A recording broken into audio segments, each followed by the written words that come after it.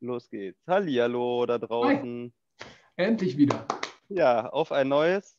Äh, letzte Woche ging ja aus äh, quasi organisatorischen Gründen kurzfristig dann nicht, aber natürlich haben wir das jetzt nachgeholt oder holen das jetzt nach. Daher für alle da draußen, die Freude dran haben. Hier sind wir mal wieder. Ne? Oh. ähm, ja, das schöne Thema heute, Georg. Ich gucke nochmal, wir haben ja länger mit dem Titel hin und her überlegt. Ne? Richtig. Mit dem Ich per Du, Wege aus der Selbstverleugnung. Genau. Und da schmeiße ich dir jetzt gleich den Ball mal rüber. Was würdest du sagen für unsere netten Zuschauer und Zuschauerinnen? Ähm, was, für, was, was bedeutet unser Thema?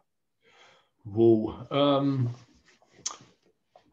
ja, also Selbstverleugnung, will ich jetzt erstmal sagen, ist äh, ziemlich gängig, ja. Und mhm. ähm, auch ziemlich quälend. So dieses ganze Thema Scham, ich darf das, was ich eigentlich sagen will, nicht sagen. Ich darf der, der ich eigentlich bin, nicht sein. Äh, ich muss irgendwas tun, damit der andere mich liebt. Ich muss irgendwas lassen, damit der andere mich liebt. Also Selbstverleugnung steckt ja in so vielen Dingen drin. Mhm. Ähm, vielleicht sollten wir vorher nochmal erläutern, was überhaupt Muster ist, weil ähm, jetzt erstmal würde er ja denken, ach, ich liebe mich ganz, ich liebe mich ja eigentlich so, ne? Oder vielleicht nicht jeder, aber viele. Ah ja, ich, also, so, da ne? bin ich ja schon, bin ich schon sehr kritisch. Ich glaube, wenn man die meisten Leute fragen würde, magst du dich selber, dann kommt so ein, ja, manche Sachen schon, aber. Und dann kommt wahrscheinlich eine ewig lange Liste von Dingen, die sie an sich nicht mögen, die sie gerne verändern, verbessern oder ja, abschaffen würden. Aber genau. ja. Ja, und dann kommt eben noch die ganze Ecke der, dessen, was einem unbewusst ist. Ne? Mhm. Also so, äh, wo man gar nicht merkt, dass man was verleugnet. So, ne? Wo man gar nicht auf die Idee kommt, dass das überhaupt Verleugnung ist. Mhm. Ähm, und insofern wäre es ganz nett, nochmal zu sagen, okay, also ein Muster bedeutet, dass man ähm, in einer Handlung gefangen ist, im Grunde genommen. Man tut etwas, weil man innerlich das Gefühl hat, man muss was tun.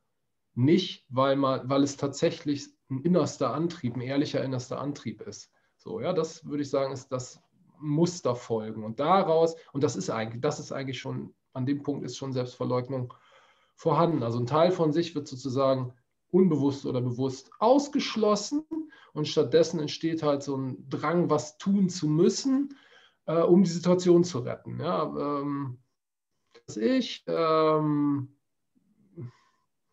ich weiß nicht, ich glaube, das kennen sehr viele. Man hat zum Beispiel das Gefühl, äh, man sitzt in einer Runde und ähm, man ist total nervös. Ja? Und diese Nervosität nutzt man dann zum Beispiel dafür, um ähm, so einen inneren Dialog zu führen und die ganze Zeit sich äh, sagen zu erklären, warum die anderen wohl nicht zuhören, wenn du was sagst. Naja, was weiß ich, ne, die sind halt zu beschäftigt oder man ist irgendwie, zieht sich innerlich zurück und sagt, naja, die hören ja sowieso nicht zu.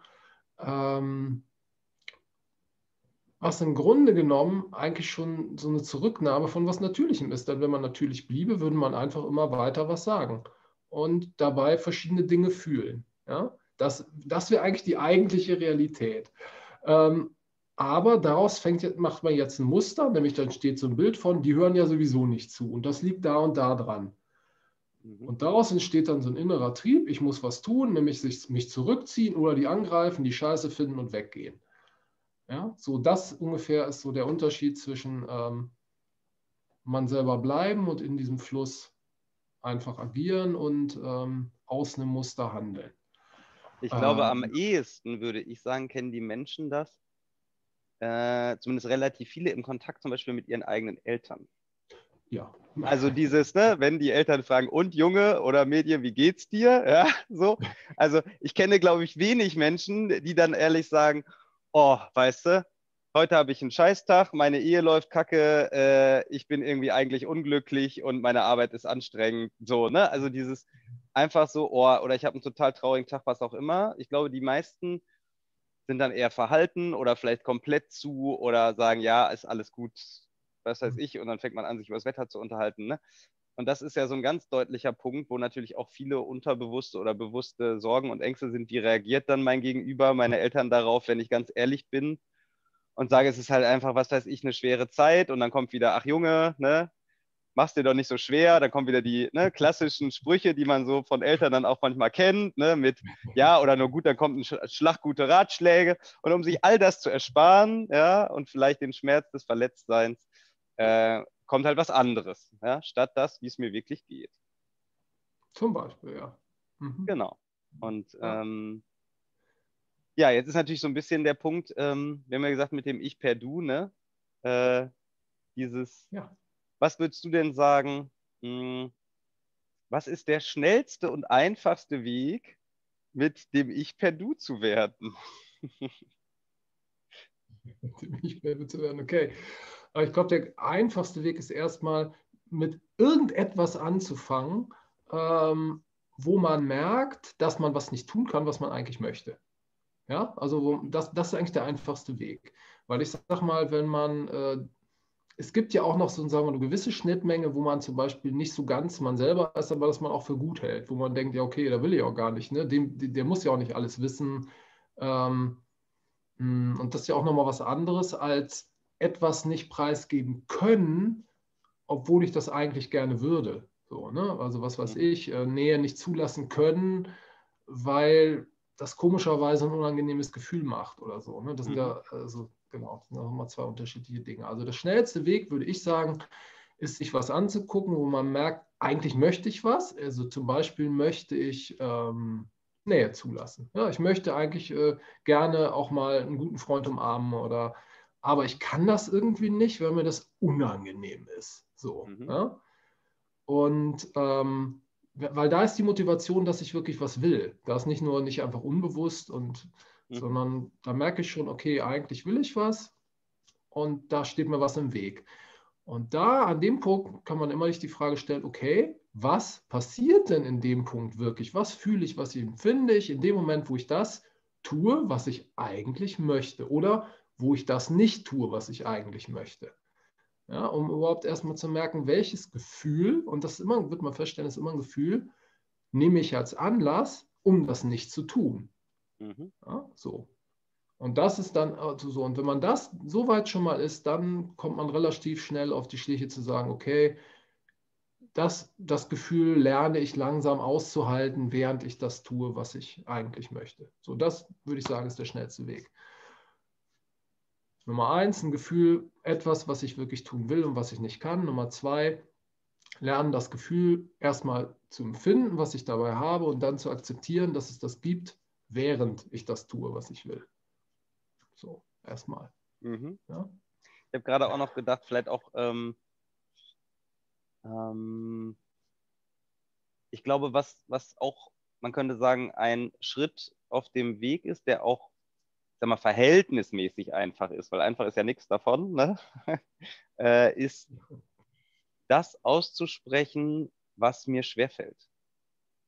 Also nicht mal mhm. dieser Aspekt von, mhm. ich muss es gleich einfordern, meinen Wunsch oder mein Bedürfnis oder ich muss es gleich leben oder was auch immer, sondern einfach mal zu gucken, kann ich mir erlauben, in der Kommunikation mit den Menschen um mich rum dann zu sagen, boah, weißt du, ich würde dich eigentlich voll gern jetzt um, umarmen und meinen Arm nehmen und gleichzeitig ist das für mich echt immer voll so die Herausforderung. Ne? Das fühlt sich echt komisch mhm. an. Und diesen Schritt zu gehen, da ist halt schon so viel Ehrlichkeit drin, dass alleine das schon wieder etwas verändert. Ne? Also an ganz vielen Stellen so erstmal die wirkliche Anerkennung, ja, das habe ich wirklich und das ist wirklich und aber auch das, was das es schwer macht anzuerkennen. Ne? Und dann mhm wird es oft auch leichter, weil dann eine andere Kommunikation entsteht, weil ne, es ist auch schon so, oh, ich würde dir gerne was erzählen und das ist mir aber ein bisschen peinlich. Weißt du? Und schon ist es was ganz anderes, als wenn ich jetzt sagen muss, oh Gott, oh Gott, gestern, keine Ahnung, habe ich mit dem Auto in die Hose gemacht, ja, so. Also, ja, aber wenn der andere sagt, oh komm, weißt du, ich habe schon so viel Scheiße selber erlebt, komm, sag's einfach, im schlimmsten Fall lache ich ein bisschen, ja, und schon verändert sich was halt, ne? Mhm, stimmt, ja, stimmt, das ist recht. Also tatsächlich, ähm, könnte man Selbstbegrenzung ja auch auf eine Art definieren. Ich gebe etwas von mir nicht, was da eigentlich wäre. Ne? Und das mhm. kann genau was sagen, äh, das kann was zeigen, das kann ein mhm. Gefühl sein. Genau. Und in dem Sinne, genau, kann ich also auch allen Erfahrungen noch, äh, weiß ich noch genau, als ich das erste Mal, die erste Freundin, nach die ich, die ich sehr verliebt war und dann auf einmal einen Tag gab, wo ich das Gefühl habe, ich fühle nichts mehr. So, habe ich heute nicht lieb. Oh mein Gott, da habe ich mehrere Tage noch verzweifelt versucht, sie wieder lieb zu haben, hat nicht funktioniert. Scheiße. Ja. Ne, immer ja. so mh, hm, äh, Komplimente rausdrucksen und so. Mhm. Ähm, bis dann irgendwann im Abend irgendwie einfach gesagt hat, du, äh, komisch, irgendwie fühle ich gerade nicht so viel. Ja, mhm. Bams, fünf Sekunden später war ich wieder so verliebt wie vorher. Sowas bescheuert, ja. das hat man fünf Tage im Kopf gemacht. Mhm. Ähm, ja, genau, das ist ein mhm. super Beispiel. Genau dafür, also ähm, das, was mir scheinbar so viel Angst macht, einfach, äh, einfach. Dieses innere, äh, darüber gehen, das auszusprechen, das ändert schon wahnsinnig viel. Genau. Ja. Und ähm, also vielleicht auch da nochmal, ich finde, das ist ein ganz wichtiger Punkt. Ne? Das ist ja so ein bisschen, es gibt wahrscheinlich auch Menschen, die sagen, ja, ist ja auch gut, dass ich das eine oder andere nicht von mir zeige, weil ich kann vielleicht verletzt werden oder der andere, ich kann den anderen verletzen, ja, oder, oder, oder. Und gleichzeitig, ähm, ich hatte gerade wieder so ein total spannendes Coaching. Und da ging es halt um Familie, ne? wie es halt so ist. Ja? Mhm. Wie bei den meisten Menschen ist es ja so, dass sag mal, der Großteil zumindest sich wünscht, dass es noch ehrlicheren Kontakt gibt oder mehr gesehen werden. Also ich werde von mhm. meinen Eltern gesehen in dem, was ich mache und respektiert in dem, was ich mache und ne, es gibt einen schönen Austausch so, ne, und ähm, so. Und ein Kern dabei war eben dieses, auf der einen Seite ein Riesenwunsch, eben von den Eltern gesehen zu werden. Mhm. Und auf der anderen Seite aber könnte man sagen, äh, selber noch hinter der Mauer sitzen. Ne? Also dieses mhm. sich nicht mhm. wirklich zeigen. Mhm. mhm. Und das ist natürlich am Ende, könnte man sagen, ja klar, schützt du dich, weil vielleicht ein doofer Spruch kommt von irgendwem, ja, der damit nicht gut mit umgehen kann, mit deinem, du zeigst dich wirklich, wie du bist. Und auf der anderen Seite ist es aber auch gar nicht möglich, könnte man sagen, überhaupt das zu bekommen, was du dir tief im Herzen wünschst, nämlich eigentlich einen schönen, ehrlichen Kontakt, wenn du selber nicht bereit bist, diesen Schritt zu gehen, der vielleicht auch herausfordernd und schwierig und schmerzhaft oder was auch immer ist, ja, vielleicht auch total schön, wer weiß das, mhm. ähm, um überhaupt, kann man sagen, also um ein Leben zu führen, wie ich es mir wünsche. Ne? So, und ja. das setzt halt voraus, ja, eben diese Selbstverleugnung immer mehr irgendwie abzulegen. Ne? So. Und ja, genau. Also ich glaube, es ist im konkretesten Sinne, den man auch, den man auch am leichtesten verstehen kann. Ne? Genau. Das heißt, man braucht schon den Mut, sozusagen dahin zu gehen, wovor man so Angst hat zu äußern, um überhaupt ja, eine Chance zu haben, einen guten Kontakt herzustellen. Und im nächsten Schritt wird man vielleicht auch feststellen, dass ein schöner Kontakt oft viel mehr und schöner ist, als das, was man ursprünglich wollte. Ja. Denn mhm. also ich sage mal, selbst wenn man im schönen Kontakt von jemandem keine Zustimmung kriegt, ist das unter, unter Umständen trotzdem eine schönere Atmosphäre, als wenn einem jemand zustimmt und man sagen kann, oh ja, ein Gott, Gott sei Dank, ich bin sicher. Aber irgendwie ist trotzdem kein Kontakt da. Ne? Mhm. ja. ja. vielleicht auch einfach, ja, äh, vielleicht für die Menschen. Ich meine, viele können ja mit dem Wortkontakt was anfangen, aber der Kern ist ja eigentlich, ein Gefühl zwischen zwei Menschen. Ne? Also es reicht ja aus, Kontakt heißt ja nicht mal, dass man miteinander reden muss. Das kann sein, ich gucke meinem Partner einen Moment nur in die Augen und es ist, es ist halt so ein, ja, es gibt einfach ein schönes Gefühl, so was Tragendes, so was Gemeinsames. So, und selbst wenn das nur zwei Sekunden dauert, und ähm, ja, es kommt im Endeffekt, kann man sagen, ganz oft gar nicht auf den Inhalt an, der dann da passiert, genau. sondern erstmal auf das Hintergrundgefühl, was ich habe, wenn ich mit diesem Menschen dann in im realen Kontakt bin. So, ja, genau. Und dafür ist halt notwendig, dass keiner, also dass du die Kontrolle loslässt, was da rauskommt, sozusagen. Mhm. Ne? So, und das ist, glaube ich, für viele erstmal ungewohnt, ne? Mhm. weil man erstmal ja versucht, so eine sichere Situation mhm. zu machen, so, ne? dass möglichst das passiert, was man kennt. Und diese Art Kontrolle verhindert aber halt diesen int intimen, intensiven, sehr schönen Kontakt. Ne? Und ähm, vielleicht da, ja. Also ich habe gerade spontan gedacht, ne, ist ja so, ich komme ja immer mal wieder so ein bisschen auf Thema Beziehung zurück und so, ne. Ich habe ja zwischendurch immer irgendwelche klugen Ratschläge für irgendwelche Männer da draußen, äh, wenn das denn für euch zutrifft. Ähm, man könnte sagen, je kontrollierter dieses sich zeigen oder nicht zeigen ist in der Beziehung, desto mehr geht eure Partnerin auf jeden Fall an die Decke. Das kann ich jetzt echt, also die Erfahrung habe ich an verschiedensten Stellen gemacht. Das heißt, es geht auch nicht darum, ob ihr in Anführungsstrichen euer gedunkelstes Geheimnis offenbart oder eure was weiß ich was, ja, sondern es geht, es geht nur um die Art und Weise. Nämlich seid ihr in Kontakt oder eben nicht. Also, ne? Ähm, und dann und das ist der entscheidende Punkt für Kommunikation in der Partnerschaft. Ne? Also ist Kontakt da oder nicht und nicht reden wir über irgendwas oder selbst über die wichtigen Dinge, aber wenn man das ohne dieses Gefühl von Kontakt tut, ist es halt einfach wenig tragend und führt bei einer anderen Stelle halt einfach zu Konflikt, weil dieses Authentische dann die Partnerin versucht irgendwie hervorzuzwingen, könnte man sagen.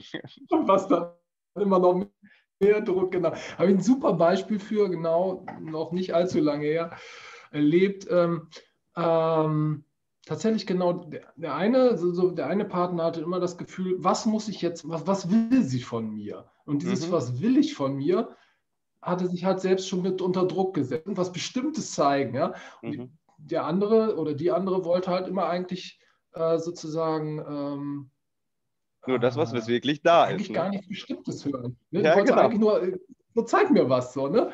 Zeig ähm, mir das, was da, was wirklich da ist. Nicht das, genau. was, ja, was ja. ich sehen will oder was du glaubst zeigen zu müssen, sondern nur das, was da ist, ja. Genau, und äh, der eine, der, das ging halt gar nicht, weil er immer dachte, es muss was Bestimmtes sein. Mhm. Bis er dann auf die Idee gekommen ist, zu sagen, du, äh, irgendwie habe ich das Gefühl, ich muss dir was Bestimmtes zeigen. Und das, irgendwie bin ich damit total unter Druck. Und auf einmal, puff, fiel der Druck von ihm ab, weil er einfach das gesagt hat, was tatsächlich real mhm. passiert ist.